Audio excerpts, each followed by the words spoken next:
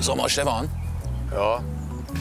weißt du, warum du keinen Erfolg bei Frauen hast? Hä? Was soll das denn heißen? Weil du nicht reden kannst. Wieso? Ich rede doch gerade. Ja, aber die Frauen wollen immer über Haare reden, Frisuren und Wetter und solche Sachen. Hä? Ja, das machst du nicht. Machst du doch auch nicht. Ich nicht. Spinner.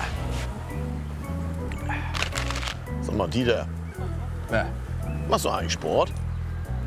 Nee, wieso? Das sieht man.